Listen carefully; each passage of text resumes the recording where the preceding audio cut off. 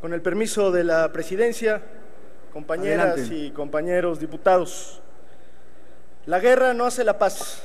Lo hemos dicho de manera insistente y en todos los foros en los que hemos tenido oportunidad de participar.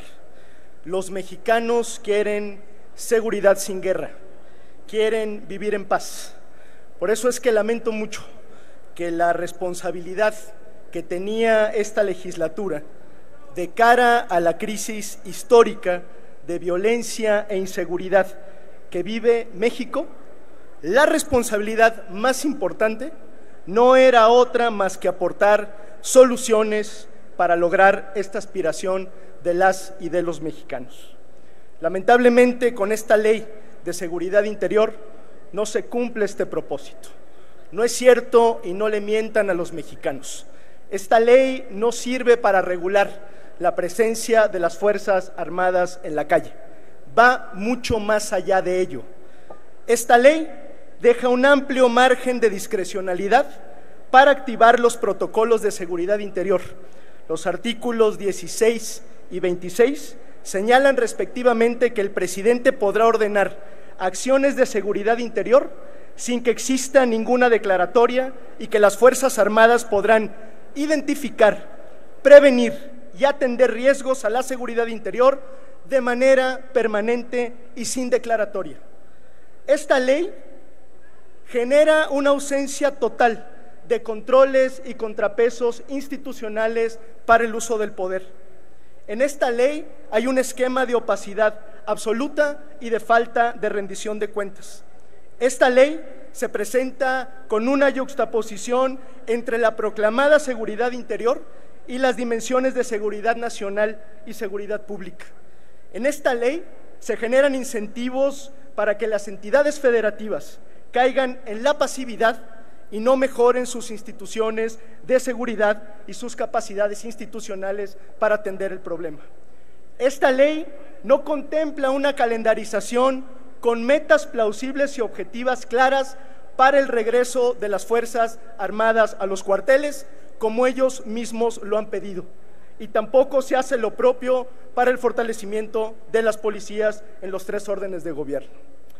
Pero más allá del grave contenido de esta ley, lo que hoy tenemos que decirle a los mexicanos es que en menos de 48 horas esta Cámara de Diputados dilapidó la oportunidad y la responsabilidad histórica de atender la crisis de inseguridad que vive el país.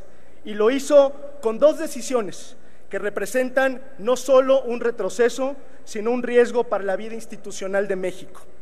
Lo que esta legislatura hizo en menos de 48 horas fue decidir, por un lado, prolongar una estrategia fallida en materia de seguridad mediante la, aprobación de esta ley de seguridad interior y, por otro lado, cancelar la posibilidad de fortalecer a las policías e instituciones civiles de seguridad en los tres órdenes de gobierno con el rechazo a la minuta de mando mixto el día de ayer. Con esta doble decisión, el PRI y sus aliados convertirán en ley una política pública fracasada, que ya demostró sus limitaciones y sus equívocos durante más de una década. Convertirán un problema coyuntural en un círculo vicioso por decreto.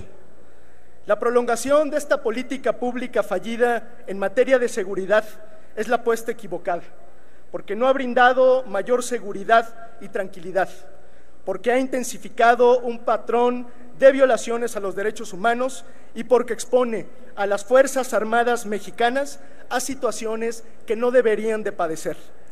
La prolongación de esta política fallida no ayuda a México, no ayuda a nuestras Fuerzas Armadas y no aportará mayor seguridad a los mexicanos. Pero además, detrás de esta doble decisión del PRI y de sus aliados hay una tragedia y un problema de fondo, que el Estado mexicano está renunciando por decreto a la aspiración de tener policías más fuertes, coordinadas y eficaces está renunciando a construir una política de seguridad democrática, duradera y confiable. Y la pregunta que nos hacemos es si esta es la apuesta y la aspiración del PRI, para los próximos años. Si esto es lo que quiere su virtual candidato a la presidencia de la República o si lo que quieren más bien es descarrilar el país, sabedores de su inminente salida del poder. Por todo esto es que Movimiento Ciudadano respalda las voces de quienes le han exigido a este Congreso implementar una moratoria legislativa en la agenda de seguridad y discutir de manera integral todas las aristas que envuelven este fenómeno y hacerlo de manera abierta.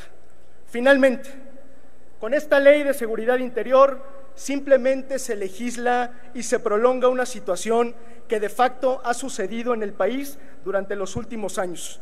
Pero esta legislatura nada está haciendo para fortalecer a las policías de los tres órdenes de gobierno, nada está haciendo para garantizar la plena autonomía del sistema de procuración de justicia y nada está haciendo para acabar con el ciclo de violaciones a los derechos humanos, nada está haciendo para implementar soluciones duraderas que enfrenten la crisis de inseguridad y de violencia. Por eso, compañeras y compañeros diputados, Movimiento Ciudadano votará en contra, porque la guerra no hace la paz. Y votaremos en contra porque no vamos a dejar que unos cuantos nos roben el futuro a millones de mexicanos. Muchas gracias. Gracias, diputado Clemente Castañeda.